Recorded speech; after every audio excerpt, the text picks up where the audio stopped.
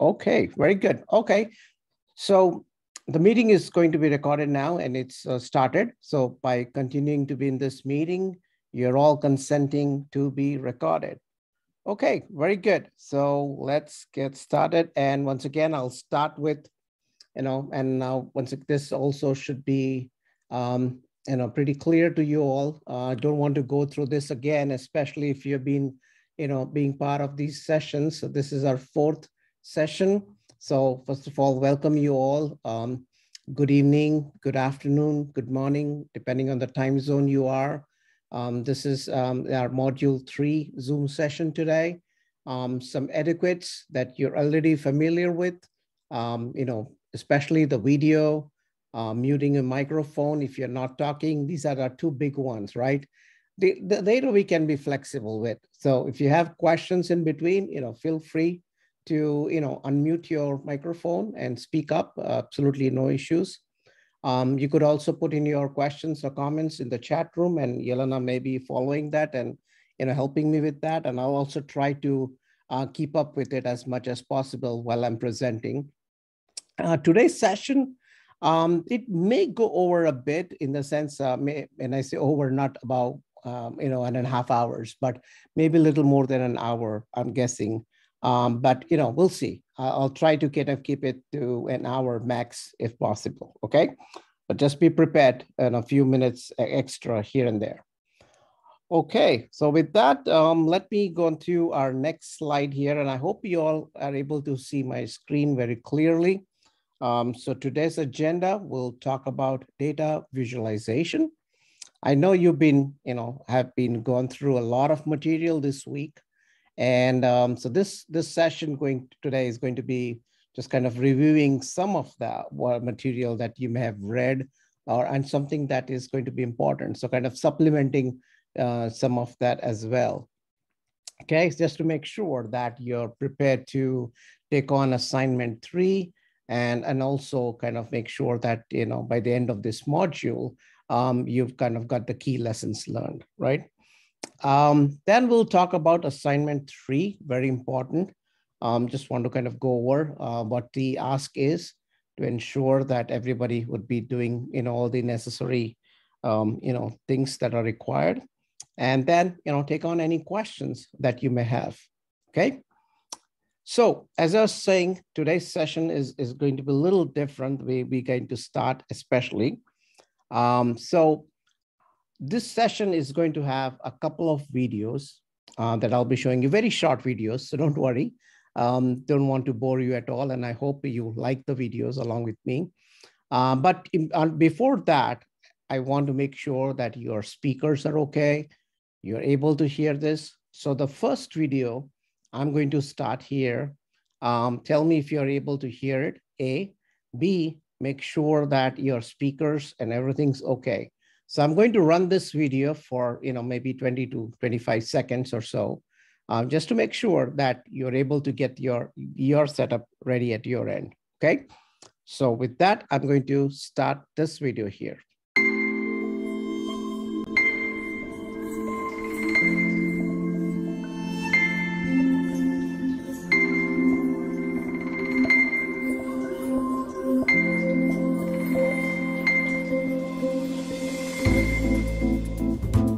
Everybody able to hear the music? Can one of you please yes. confirm?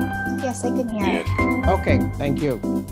All right, so I think I gave you time to check your setup, and I believe you are also able to hear it through um, the session here, through the Zoom session as well. So I'm going to now start the first video that I want to show it to you. And this is a very short video. Again, it's three to four minutes long. Um, and hope you enjoy it. Okay, so here we start. So I realized that's what marketing people are good at. They can take statistics and make them say whatever they want. They can make their message fit a statistic. So I figured if they could do it, I'm an engineer, I'm a prototype guy, so I worked up some slides to prove that anybody can do that, if we can go back to my slides. So here you go. I looked at some statistics and I found these on the internet, and I'm just going to make it say what I choose to make it say. So they, they polled 1,000 people. Turns out three out of a thousand people polled said they've choked on a potato chip. Not died, just, and they were fine. Same thousand people, only one in a thousand said they've choked on a pretzel. So if you were in marketing, you could say, pretzels, the snack that's three times safer than the potato chip. Okay? Absolutely true statement. Suddenly people would be running from that dangerous potato chip. Kids are killed by them every day. Run! Another quick example your chances of getting Alzheimer's by age 85 are 1 in 10. Kind of scary, actually. The average smoker lives to be age 66. So if you were in marketing at a cigarette company, you could say smoking lowers your chance of getting Alzheimer's. Right? Absolutely correct statement. I can see the commercials now. Go ahead, light up. You won't be getting Alzheimer's. We hope to stamp it out in the next generation. Go ahead, two a day. Now, you may ask, why does this matter? And here's why it matters. People get scared all the time. They don't realize that five or ten times a really small number is still a very small number and not very likely, but they freak out. My mom is the best at this. She always hears these things and she's afraid to use anything. Because she's, and I worked up this example to prove to her that it's rational to be scared, and it ended up scaring her anyway. So here you go. One out of 1,677,345 people will get mauled by a bear. Really not very likely. Could be a bear right there, probably not gonna maul me. Really. Statistically, it would just keep walking by. Even if you're a bear, only one out of 335,469 bears are involved in the mauling of a human. But it turns out two out of 10 people have never seen a bear. Therefore, if you've seen a bear, you're 10 times more likely to get mauled by one. My mom's conclusion don't look at bears. It's Reasonable. I, never went to a zoo till I was 26 years old. But then again, I've never been attacked by a bear either. Maybe mom was smarter than I give her credit for. Okay. All right. So that's the end of the first video. Now I'm going to go on to the second video. So hold on. This is going to be a little longer than the first one. Uh, ho- hopefully you'll enjoy this as well. Okay. Here we go. Uh, I put my act on PowerPoint several years ago. And the reason I did this, I, I didn't, I don't usually admit this straight up front of my show, but I was an engineer for many years. And I realized in the age of information, we have all this information, and no engineer has really tackled relationships because the answers are out there. We just need to find them by good engineering analysis. So I have done that. I put it together. I am now going to offer the first chapter of my user's guide to relationships. And I thought I'd start with a positive one. Everybody's talked about the key to relationships. I believe this is the key. Oh, by the way, your results may vary. I believe this is the key to a good relationship, a long relationship. Your spouse's looks and your vision need to deteriorate at exactly the same rate. If that can manage to happen, I can always look at my wife and go, You're as beautiful as the day I met you. Now let's look into some of the more challenging parts of relationships. I knew my wife was a great arguer, but unlike a lot of guys, I took the time to analyze why I was losing so many arguments. So I plotted the chances of winning an argument versus time, and it turned out the three distinct periods popped up. When we were first dating, I had a 50 50 shot in any relationship. I had no idea that is the best I would ever do. Those are glory days for a man right there. Those are Hall of Fame numbers, one out of two. Because once I got engaged, it immediately dropped to one and four, and then since I've been married, I am 0 for 963. I actually thought I won once. We argued about who won the argument. I lost the argument, who won the argument. So I won once, but I'm not allowed to say it. So I actually did. This is a true story. My wife and I were having an argument. I decided to flowchart it to see where I was going wrong. Okay? It was a simple enough argument. I was hanging my son's mobile of all the planets, and I was hanging them all up. And I got to Pluto, and I went to hang Pluto, and my wife went, "You know, what do you do?" And I go, "I'm not going to hang Pluto." She goes, "What are you talking about?" I go, "Well, Pluto's not a planet." It was yeah, it was declassified. It's like an astral object now. It's not. She goes, yes, it is. That's where the argument started. Watch where it goes. So she says Pluto is a planet. I say, no, it's not. She says, are you saying I'm dumb? That is what we call a trap. Because if I say yes, that leads to divorce. So of course I say no. She says, "Well, I don't like the way you argue, pulling out science and facts, making me feel dumb. You are saying I'm dumb." Again, if I say yes, that leads to divorce. So I say no, and she says, "Well, you don't respect me. You don't care about my feelings." This is a trap in the other direction. Because I say no, I don't. That leads to divorce. So I say yes, of course I care about. And she says, "Well, do you want to have sex again?" Well, that isn't an option. So in my uh, house, Pluto is officially a planet.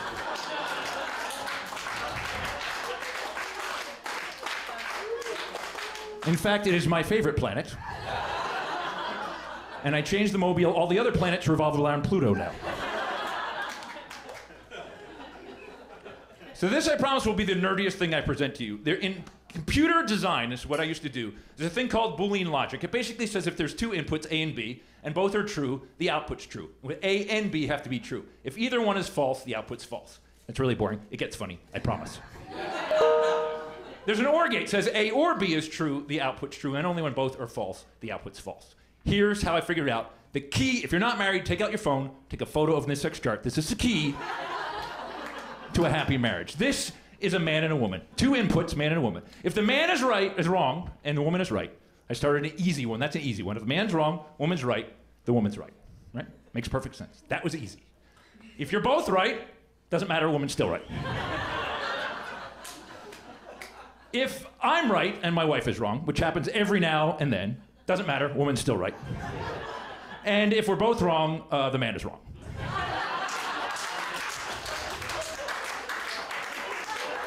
Go ahead. I'll take a couple moments to get your phones. Now, a lot of times I'm, when I get in trouble, I'm trying to help. I was watching my wife vacuum one day. My wife's name's Laura. And clearly, uh, she had no uh, vacuuming plan when she began her vacuum. She would go that way for a while and that way, and it was horribly, horribly inefficient. And I decided I could help her out. I said, You know, honey, I was watching you vacuum, and you could save some time if you just thought about it. If you went around the room like a Zamboni, right? At an ice rink, if you got smaller and smaller, you could finish in like half the time and do just as good a job. I'm trying to help you. It's, it's more efficient. She said, You know what, Don? That is helpful. It is more efficient. Want to know why? Because you're going to be doing it from now on.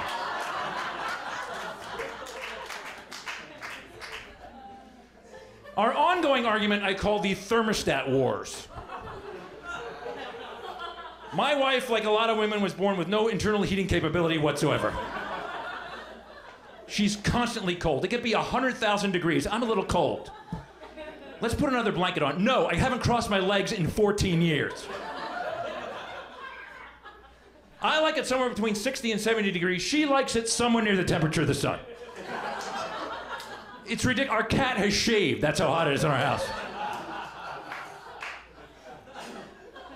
And then finally, I'll end on this. I love my wife, but I can't stand to shop with my wife. And I couldn't prove to her why. She thought, well, she took it personally, like, you don't like being with me. No, I just can't stand it. It's not the way I shop. And I couldn't prove to her how different we It's like I got a GPS tracking device, and I tracked our shopping trips separately. Here's how I shop. All you have to do in this experiment is go to the mall, right? Here's the mall. Go to the Gap, buy a pair of pants. That's all we both had to do. Here's how I do it. I walk in the mall, take a left, take a right, buy the pants, take a left, take a right, and go home. That's it. That takes me six minutes and costs me $33. That's it. I am done for 2013. Here's how my wife shops. Same thing. Got to go to the Gap. She walks in the mall. There she is right there. Three hours, 26 minutes, $876. And look, she never even got to the Gap. Now, the stunning thing about this is she's seen this. I've been doing this bit for like three years. She came back to me with an answer, I swear to you. She goes, You're looking at that mall thing all wrong. Let's like see who is the more efficient shopper in terms of cost per minute. You, Mr. Smarty Pants, spent $33 in six minutes. That's a cost per minute of $5.50 per minute. I spent $876 in 206 minutes, a cost per minute of $4. I kicked your ass, mister. And that's when I knew my wife was the woman for me. Thanks. Okay, pretty cool. All right. Okay, so like a quick analysis here, guys. Okay, so first of all, just with a yes or no, did you enjoy these videos? Can I get a few answers, please? Okay, Corinne says yes. Yes, okay, okay. I see lots of yeses in the chat. And by the way, guys, you can unmute and speak up also, okay? It's up to you. But all right, so thank you for that. Um, now, what was so different about Don McMillan's shows than the other comedy shows? At least a one-liner from a few of you. That's what I'm looking for. What was so different? Anything that comes to your mind? PowerPoint, okay. Thanks, Mary. Anyone else? Anything different than what just Mary mentioned? I like the breakdown of the logic. That was funny. okay. All right. Yep, I agree. But he even brought it into the conversation was pretty was pretty cool. Yeah, pretty cool. I, I agree. Okay, thanks, Amanda. All right. Okay. So with that, what do you think? Why do you think that I showed the first video on statistics, right? Didn't we cover data preparation in module two? Then why this video now? Why do you think I showed you this video? Uh, a lot of his punchlines, the guy that these, uh, the way these jokes were set up, uh, it was uh, supposed to kind of be about reframing the problem. I noticed that pattern throughout. So maybe is that why? Okay. Well, okay. And any any, any other different answer than Chase? You have to, there's a responsibility in presenting um, data and statistics um, to, um, that's kind of an accurate representation of the intent. You both are right. Absolutely. Yeah, the way the problem is framed and, and B is how, what Amanda just mentioned, right? Is how you present it. You could scare the hell out of people if you are not presenting as much as the statistics, the visualizations are also important. If your visualization is not up to the mark and you are showing something different than what it should really show, you're going to scare people away. You're going to really, you know, completely, um, what do you call the, the data that you're showing would be turned completely different, okay? So that's what I wanted to say that as much as statistics, I think even visualization, you have a big responsibility on how you displayed. All right, so with that, why do you think I showed the second video on husband and wife relationship?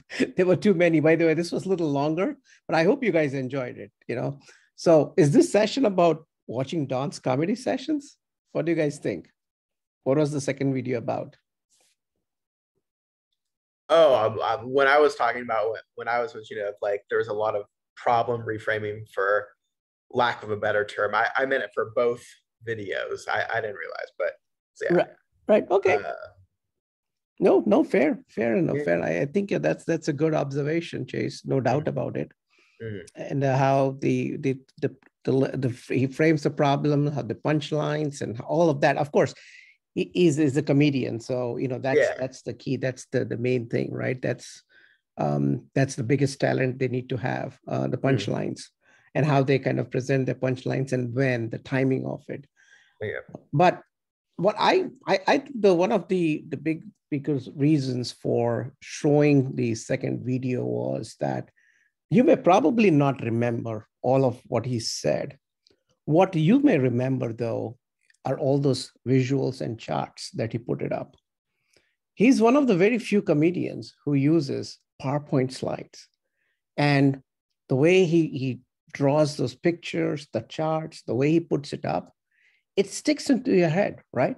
Just this little table that he put up there, some visual of uh, how he shops or how his wife shops and all that, that would probably stay with you for a long, long time. You would not have to remember all his jokes because if you have the, you know, you'd probably remember the visuals and remember some of the jokes that he mentioned, right? So once again, that's how powerful data visualization is, right? It can stick to your head very easily. So anyway, but there are you know many good shows. If you really liked it, if you're not seen before, um, please you know you can see there are lots of them on YouTube. Okay. All right. So with that, um, So there's a little affirmation, you know, just uh, some pearls of wisdom, I would say, some words of wisdom from a couple of, you know, very popular, very smart people. Um, the first one is, you know, from Charles Micheletti, is a is one of the data visualization expert, and um, his quote was, you know, data visualization is the art of depicting data in a fun and creative way beyond the possibilities of Excel tables. In a way, it's like setting figures to music. I completely agree with that, right? It's, it's, it's an art. As much as you think it's a science, it it's definitely is an art on how and what you display. And, and here's the second one from another very popular person um, that I'm sure you all would know and remember. Um, Steve Jobs said, design is not what it looks like and feels like. Design is how it works. And you may wonder, what is this in reference to? Maybe his reference could have been iPhones, but it reference it refers to data visualization if you think about it also, right? It's not just how beautiful picture you put it up there. That picture may better be right, right? Otherwise, if it doesn't work, if it is not right, it is not going to be you know beautiful in any way, right? Okay, so um, and and just because these two people came up with these beautiful quotes and attested how important data visualization is, let's not just take their words. Maybe just look at some of the statistics, the real statistics, right? Like the first one here, it takes only 13 milliseconds for the human brain to process an image. The human brain processes image images 60,000 times faster than text. 80% of people remember what they see compared to 10% what they hear and 20% of what they read. 90% of the information processed by the brain is visual. And lastly, social media posts that include images produce 650% higher engagement than text only post, right? Very, very powerful stats. And I'm sure it, the last one may resonate with you all, right? The, maybe the earlier, the first few bullets, the three or four bullets, we may not have a proof for that as such, but it, you may still agree with that. But the last one, maybe you would have, you know, some of you maybe are on social media and have been you know posting on social media and you know how important posting an image is right a picture is which leads to more engagement more clicks right that's how powerful data visualization is. So but once again just because it is important and it doesn't mean if there are certain rules that we all need to follow without which once again you know it will fall flat. And you know you may be you may be just putting up something that's very obscure or you could just skew the data or the information that that is presented right? If it is not done correctly so some of the the rules here you know first of all for how you want to do the storytelling because it's all about storytelling right and how you tell the story you just saw don's videos and the way he presented his story, it was not just about visualization. It was not just about how he framed it or his punchlines, but also the way he told his each of his stories so quickly and and and perfectly with some visualization, right? So, what are the some of the the rules here? Some of the rules of thumb. First and foremost, you know, pictures are worth more than a thousand words, and yeah, you may have read this before multiple times and you may all agree with, with this, but let's take an example. Let's, let's say if we have a data and a story to tell. Let's look at how we would put this in a sentence, how we would just, you know, look at the data points, just emphasize on the data points, and then, you know, just see how a visual would look like. And what if what happens when a visual is, is placed, okay? So let's say it's about the luxury brands, right? And, and which brand has the, the maximum followers on Twitter. So here's the sentence. You know, among, among the luxury brands, Chanel has 13 million Twitter followers. Burberry, Dior, and Louis Vuitton have 8 million. Gucci has 6 million. and both Dolce and Gabbana and Versace have 5 million, right? Simple sentences or simple sentence here that kind of just tells you about the luxury brands and their Twitter followers. Now let's put it in the, emphasize the data here. So here's the breakdown of the brand following on Twitter, right? In million, 13 against it, you have Chanel, eight against that, you have all the other three companies that, uh, and the brands, six against that, you have Gucci, and against five, you have the other two brands, right? Dolce Gabbana and Versace, right? So this is how you'd put it in, in, in, a, in a, like emphasize the data points. Now let's look at this visual here just by using this visual, you uh, know, it's, it's something that will stick to your head very quickly, very easily. At the same time, you've added also some more data points and something that you would also be able to retain it in memory for longest time, right? So again, a simple use of bar chart with the picture of the Twitter bird goes a long way. So once again, that's why they say that, yes, you, we just saw how we took a sentence, emphasized the data, put it in a visual, which one is more effective? And I'm sure you would all agree with me, this last picture here is, is more and effective than all others, right? The, the other two ways. Now, let's look at the, the other rule here is it's not just about putting a picture, but choosing the right picture. That's important, right? So now let's say if there are different message types, right? You have, you know, you want to compare different data series. You want to probably look at the distribution of data series. You want to look at the breakup of a whole, like, you know, composition of a data series, or you want to just have relationship between data series, right? You want to just look at the relationship between the two or a trend or trends of data series, right? So let's say these are the different things that you want to present or portray and and what are and for each of these different ways what kind of a visualization can you use? So for a comparison which is to compare one data value with others you could use a column chart could use a bar chart could use a line chart and a scatter chart right? And i'm sure you must have all read about this um, and and know that you already used it as well and I'm sure you're going to be using it a little more in your assignment. But you know, this is one of the simplest charts and yet very powerful when it comes to comparison of data series. Next, for the distribution, which is to show the spread of data values over categorical or continuous values, you use histogram. You use the box plot, right? We talked about the box plot last time. We just went over what are the different points on a box plot.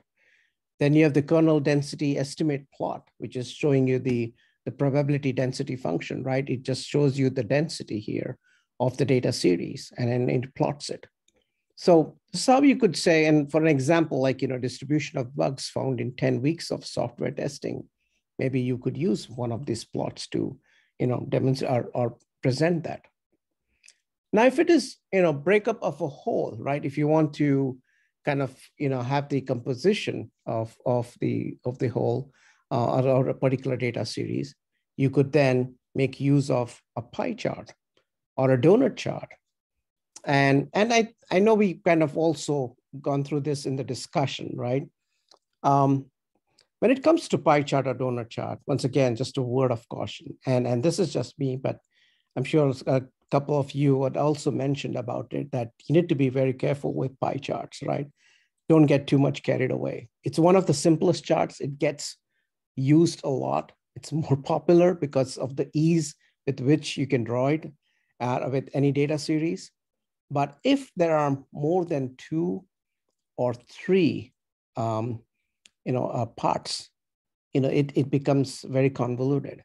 This does not is not an effective chart if there are more than two or three parts of the data series that you're going to be because because you lose out on what's the proportion. Let's let's look at the I mean both the pie chart and the donut chart here. We have like almost five parts that are being displayed and we don't know exactly the proportion. Yeah, we may guess it and maybe there's you know, a thing, um, there's, there's a label to each of those parts, but then once again, it may not do a good job with, you know, presenting the proportion. Maybe you could then, in that case, use a stacked column chart or a stacked bar chart, which if you see visually, it kind of clearly indicates the levels within the data series, which could be very easily and more comparable, okay? So once again, but these are the different charts. I mean, it's definitely available. I'm not saying never use a pie chart or donut chart. It does have, um, you know, a place um, in, in visualization. And at times it has really worked well. As I said, like if it is two or three parts that you'd want to show that you know it becomes very effective for example gender right if you just want to show you know the genders um, you know within your, within all the employees within a company or you know maybe that if you had just two or three categories of employees within your company maybe maybe it's, it's useful that time right next you know for relationship to show the relationship between two variables you would use a scatter plot or a line chart. A scatter plot, if it is one data series as comprising of X and Y, scatter plot becomes, and the scatter plot is an easy chart. But if you want to compare, you want to go beyond the scatter plot, right? You have more than one data series that you want to chart as well as compare and, and, and see, look at the relationship this way, then a line chart becomes, you know, uh, an important chart in that case. In that case, you want to use that one, okay? Next for the trends. Now to sh show the trends over time, you know, you could once again use the line chart and you see this all the time, right? If you're uh, if you're working with stocks and you're looking at the stock market, you're looking at the how the stocks have been doing over time, line chart, as you would see, this is one of the most popular charts that is being used, right? Most common chart that is used. The next common chart for time series is the area chart. Now it may look like a density plot or a density chart, but it really is not. It's, it's just the plotting of the line chart and it's kind of, you know, you know, the area is, is kind of colored for all each of the data series. That's what the area chart is. And then you have the column chart, right? The stack column chart or just a column chart where you can see the different trends. At the same time, you may be also able to see the relationship as well if you want to. Okay. So it's kind of all put together. There's another picture here that is also shown. Um, it's uh, it was on a different website that I kind of liked it, which is you know put it all together here. The relationship, you know, which charts to use for distribution, um, for composition, for comparison. I think one of the charts that you know was in addition here was the the bubble chart. Um, and that's on the relationship, right? On the first one there, you see this bubble plot. And I, I believe one of you did, um, one of your classmates did put up or, or discussed about the bubble chart. Um, you know, maybe the size of the bubbles or just, you know, displaying the data series in a bubbles form, um, which again, you know, could, could uh, you know, is, is a good chart to, you know, for uh, displaying relationship. Then for comparison, you've seen table, you've seen a spider chart, right? What, what Nightingale used for her chart, very close to a spider chart, right? Um, and, and this is for showing multiple items and then comparing multiple items. That's when you would use a spider chart, right? But once again, it's, it's another, you know, um, besides what we just went through, this is another chart here that you could use for, you know, picking up which which chart would you use. And sometimes you really don't have to think much but just there are certain rules and you know certain charts that you can use for uh, what you what what message you want to present. Next aesthetics right? It that cannot be ignored whether it's size um, or colors um, and anything of that sort like any kind of aesthetics um, is is very important Let's take an example here, right? Let's say you want to put up a picture of a traffic light, right? And, and this is a, the, the most common traffic light across you know, many of the countries. And um, so if you put up the, the, the picture of a traffic light like this, what do you think is the problem here? What's not right with this traffic light picture? Anyone? The colors. the color, absolutely, right? If you're going to be putting up a traffic light in most of the countries, I know in Japan, you go, you could say that you have a blue color, which is I get it, but in most of the countries, it would be red, yellow, and, and green, right? So in that case, you would probably have to have the right colors because otherwise you're not putting up the right picture. 3D. Once again, people get carried away with, with 3D. And I, have seen a lot of charts where 3D could be used. But word of caution again, it can lead to occlusion, which is on the left, which means that you know you could see that one of like if you have multiple data series that you want to display, you could see how it hides one data series with the other. And you could think, oh, maybe yellow is important. That is why it is on, it's in front. Maybe blue is not important. Blue data series is not important. That's why it's back. But really, that may not be the case, right? Once again, it's, it's, it obscures the view here. And maybe these are all in different X, Y, and Z planes. Um, they're at different, you know, they're using a complete uh, different X, Y, and Z planes or coordinates which is again, not comparing apples to apples. It can also lead to distortion where you try to put up this donut chart in, in a 3D form. And what has happened here? It's once again, not very clear what the proportion is. The front layer could be, or the front part could be a little different than what you see in the background, right? The, the proportion could be just completely different and it's not easy to, you know, pick what, what the proportion is here. So be careful with the 3Ds. I, I think, you know, 3Ds are good for pictures for, you know, when you want to show the depth and, and you really need a third dimension. But if your chart does not need a third dimension, then it's better to avoid it. Now, look at this picture here, okay? It's, it's a pie chart with the, the revenue of three different companies. What do you think is wrong with this chart picture here?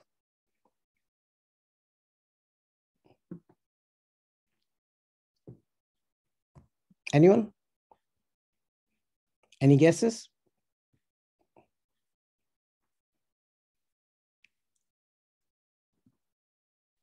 It appears like the center isn't correct, or maybe the colors are wrong. Okay, well, oh, oh, let me give away. So pie charts are good for, you know, parts of the whole, right? It's not a good chart for depicting or presenting three different series. It's three different companies you're trying to present. And what, what's the point here, right?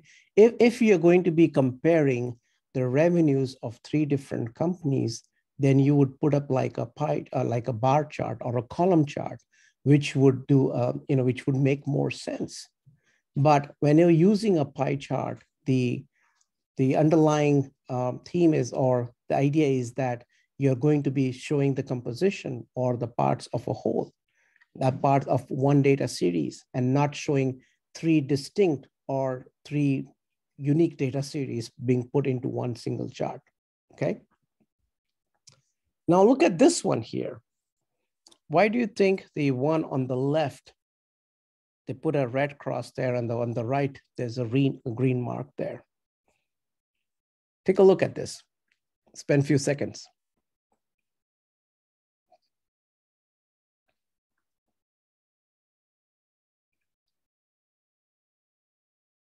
Because you have the percentages labeled on the right. Well, yes, that's the scale. Yeah, the scale. Absolutely. And you both are right. Now, both the percentages, the first of all, on the left, you start, you, if you look at the axis, it starts at 50, and on the y-axis starts at 50 and goes all the way up to 65. And then you're putting all those three different groups. So you see the level that you see for group A, B, and C. And then on the right, you're using the, the axis goes starts from right uh, I'm sorry, from zero, and then you're comparing the groups here. You can even put the numbers. I mean, it doesn't have to be percentages, but what I'm saying is you look at left and the right picture, it's the same series being put into different axes. So once again, the axis is also important. So which axis you choose to show your visualization. Okay. Next here, what do you think is wrong with this chart? What is happening here?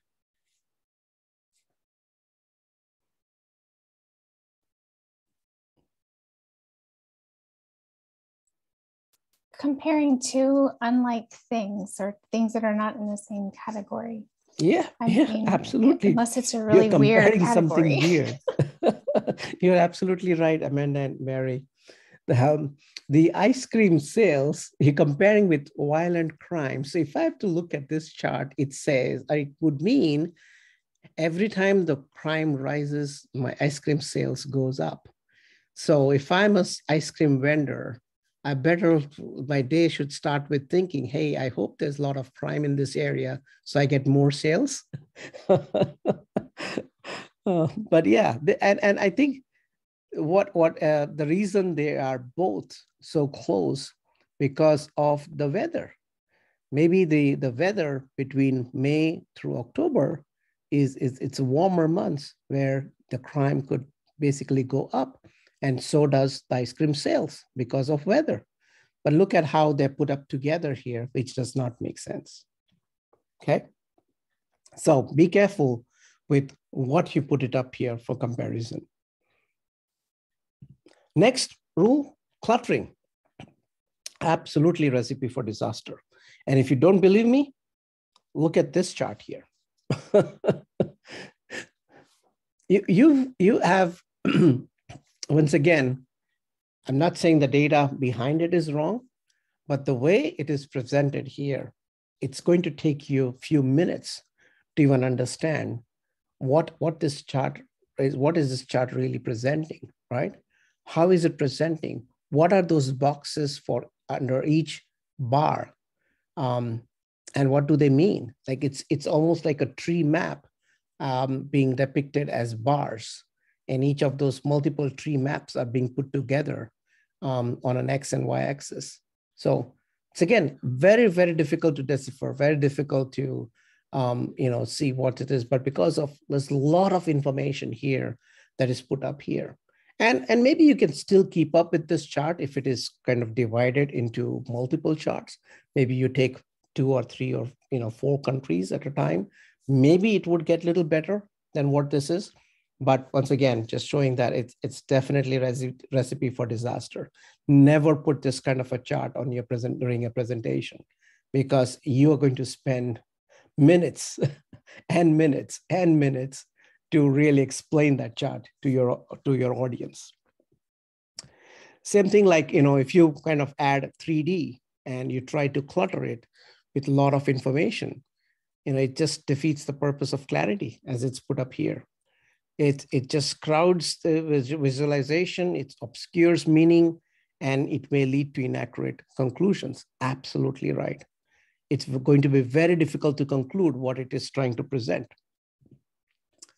So once again, just some, some few things um, that regarding cluttering here, you want to limit the number of KPIs, the key performance indicators in a dashboard to nine or less so that it's easy to focus on and easy to understand what the dashboard is about.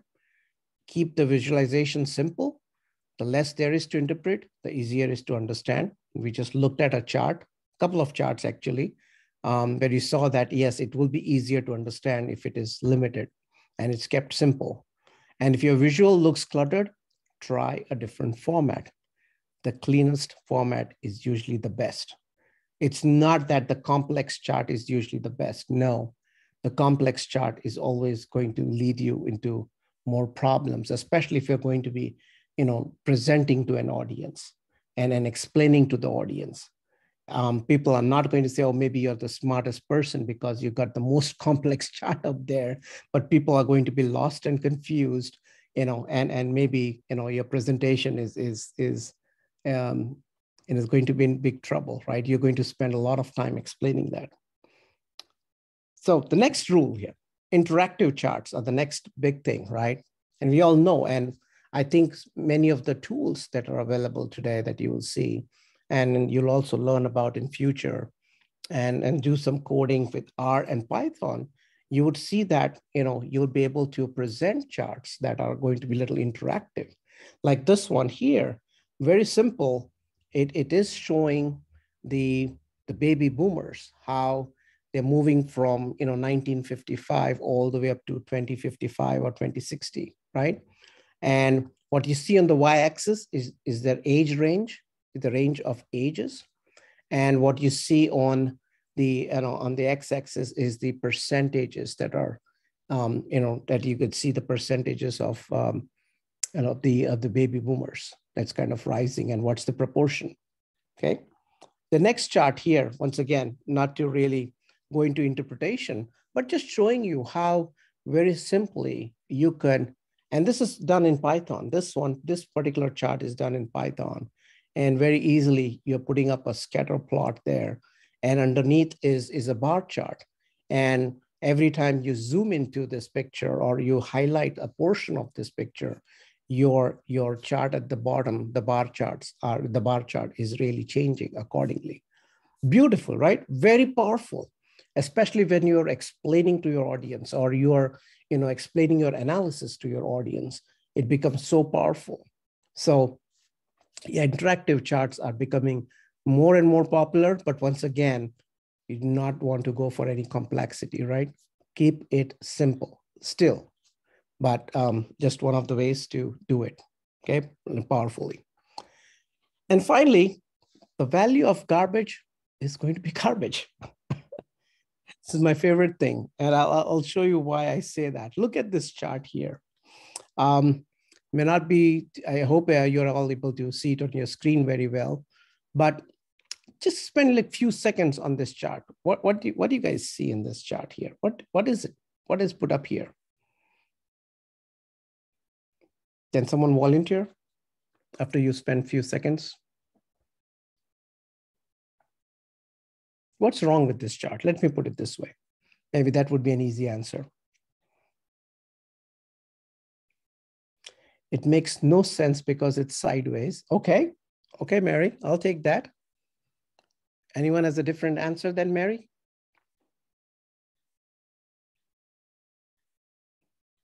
Okay, let me give it away. It's kind of hard to tell. Oh, sorry, say again. Uh, it's kind of hard to tell too, like for the Americas, like where like where the United States stop and where Nicaragua and Venezuela yeah. aim?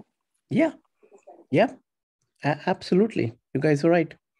Um, and and and just giving it away. Look at the y-axis. Does anyone know? Is there a y-axis here?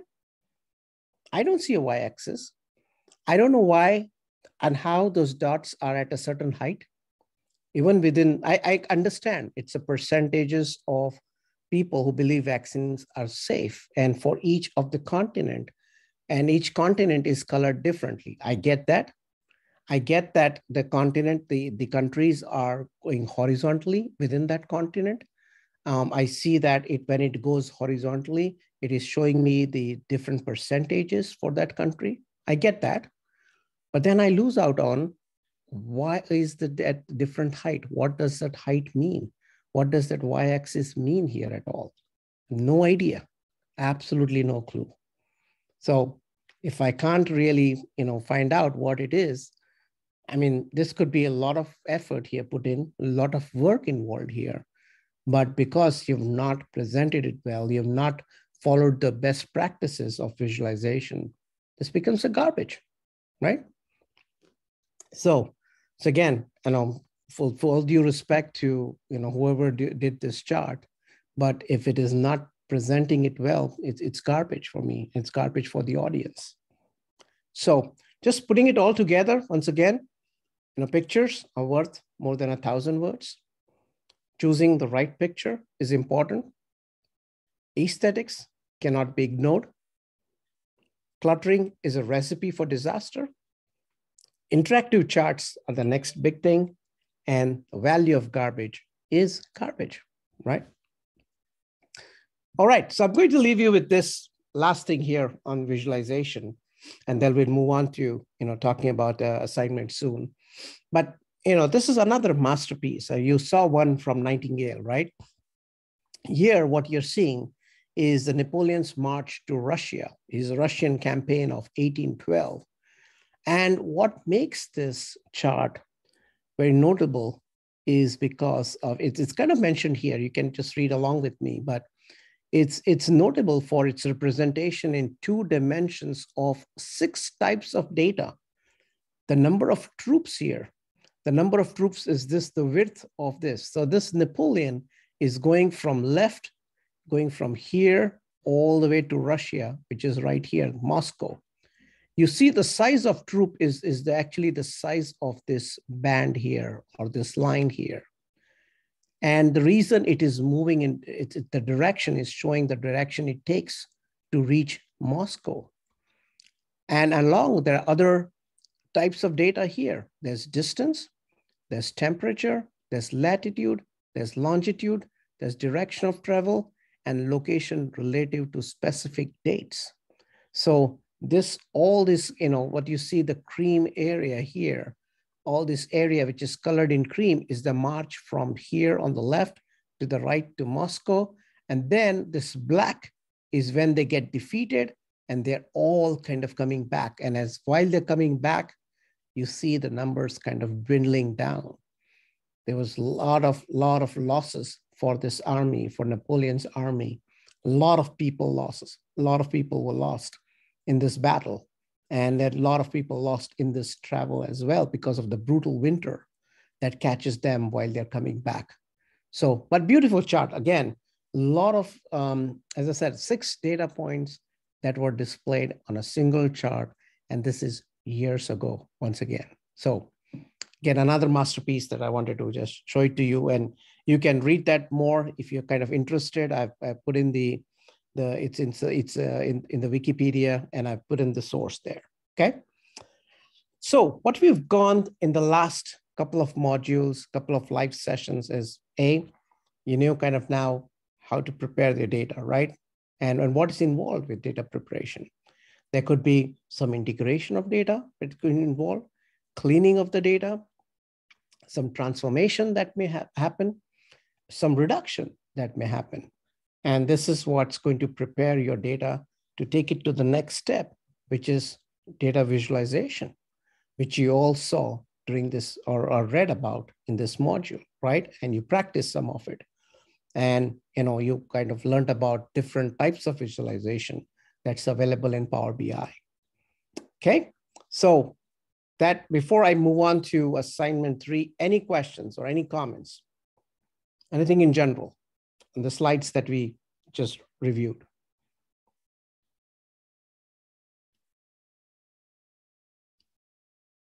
Okay, I'll take the silence as no, and I'll move on to talking about assignment three. How are we doing with the time? Well, okay, well, not too bad. Guys, we won't be going over too much, maybe five more minutes in case, but it depends on the, the questions we get. But okay, so let's quickly go over what's required in assignment three. So, and I got this question also today in the classroom. So in case anyone still has any confusion, there was a good question that was asked in an Ask the Professor section in the classroom. How many visualizations do you need for assignment three? First of all, there are not just five, there are eight visualizations that are required. So you have to create at least five using industry standard techniques. For these five visualizations, you've been told which visualization to use. It's not just any five, but you've been uh, you've been given some um, you know suggestion there or in, in the assignment. The next, you have to create three additionals in uh, using the Q&A feature. And this is where you can pick your own. You don't have any given suggestion for which one to pick, but you can just pick based on what you see from the data, what you ask the data. And so in total, there are going to be eight visualizations. You discuss the impact and purpose of each data visualization, and you do that within the notes section. Remember, we just don't want the slides that you just come and kind of, you know, put it up there and leave the note section blank, because if the note section is blank, you're not telling me about this visualization, what it is about, right? So you're going to lose points on that. So be careful. Ensure that you put in the impact and purpose. You build a dashboard. Actually, you're going to build two dashboards to convey the story about the data. Okay.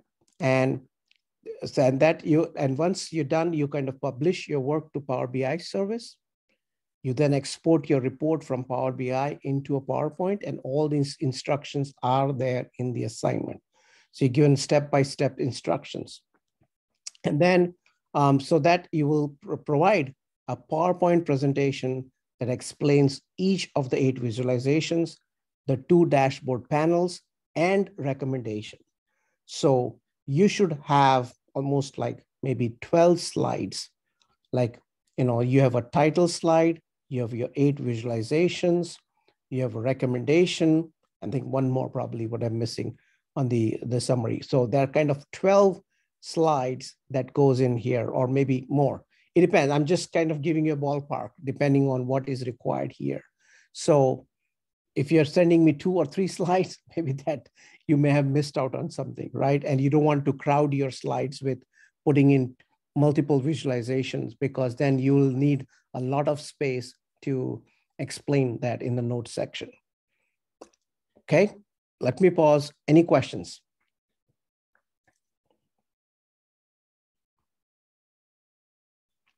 Okay, looks like, is there a way to pin visualizations to a dashboard? Or do we basically just put the visualization on report page called dashboard and convert it to a dashboard in the Power BI? No, there's there's like a dashboard. You would you would call the report page a dashboard. You would click, so you would see the instructions, Mary, within the assignment on how you would create the dashboard page. And then you would copy, basically copy the visualization from your actual report to this dashboard page, which will be like a culmination of multiple visualize, visuals into a single page called dashboard. Okay. I hope I answered your question, Mary. Yes.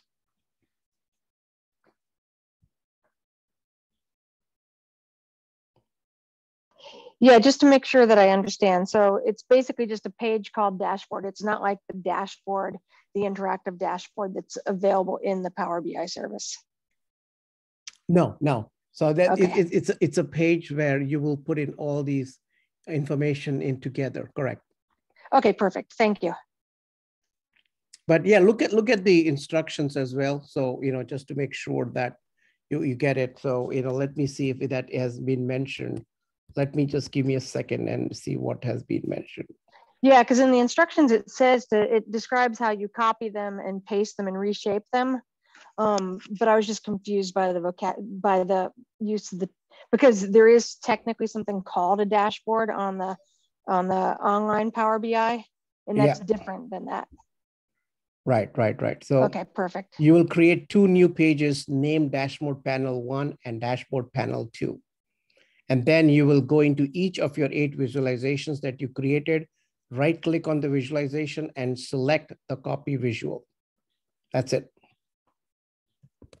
Okay, perfect. Thank you. Okay. All right. Okay. Any other questions? But good question there.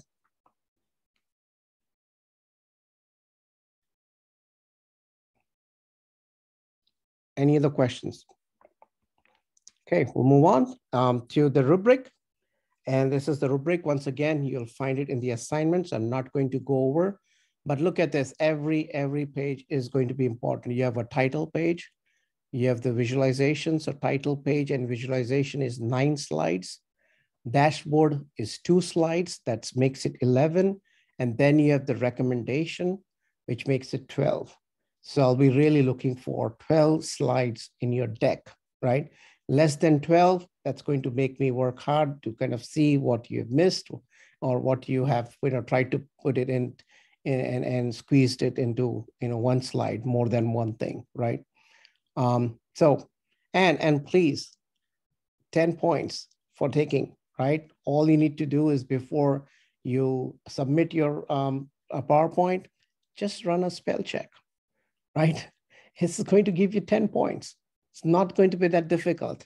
And it's not something that you need to do. It's just click a button which does the work for you to ensure that none of you don't have any typos or spelling errors, and which will kind of fetch you the 10 points. Okay, and the title page, another five points. So please do not miss out on some of the easy points here that are part of this assignment. Okay, and I do not see any posted question. I did put it up there, but I did not see until you know, a few minutes before this session, I did not see any questions that were posted. So I believe people are good. Everybody's okay with it. Oh yes, there's one, um, there's definitely one thing that I want to clarify. In the assignment description, there is one area when it is talking about the slides, it says six minimum. Um, please, if you are, again, uh, please pay attention here. It's not six minimum, it's eight minimum. Okay. If you're also listening to this recording, if you in the assignment description, it says six minimum. Six minimum doesn't mean six minimum slides for your visualization. It doesn't mean six minimum visualization. That six is actually eight. Okay. I hope I did not confuse anyone. Okay, so we went over the analysis. We looked at the, the videos. We went over some analysis on the videos. We talked about data visualization. Uh, we talked about the different rules, you know, the general rules of thumb, basically. Uh, we talked about assignment three, um, and then the, the requirements of assignment three and the rubric. And um, there weren't any questions, but there were some impromptu questions here that we talked about.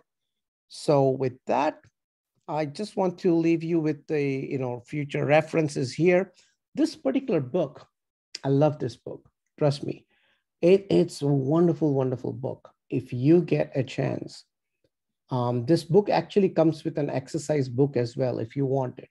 But just this book alone um, is is worth gold. Trust me, it's a beautiful book that tells you about you know how you want to do the storytelling with data it talks about all the different charts how you would use it all the nuances um, uh, all the do's and don'ts and all of that. Beautiful book. I would highly highly recommend it. It's not required for this course but if you have any bandwidth after this course and you would really want to go a little deeper into your storytelling which is one of the key skills of any data scientist then you may want to read this book okay? So again, I'm not soliciting it. I'm not the author, and I do not get paid for any book that you um, you know would buy from anywhere. Okay, but just something that I, I this is my personal experience of reading this book a couple of years back. And then I also have one of Don McMillan's videos. If you really enjoyed it, there's one more video that you probably you may like and some of the jokes are repeated but you know you may probably still want to kind of just go over it it's called the greatest charts volume one. Okay, all right. So before we call it a wrap and we end the day, uh, any questions?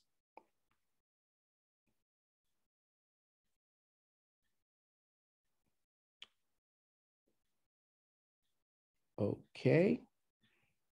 I don't see any questions in the chat. And no, again, okay. Very good, folks. So thank you all. Good luck with assignment three. I will be looking for your submissions pretty soon. I hope you enjoyed the session today. Good night and good day. Thank you.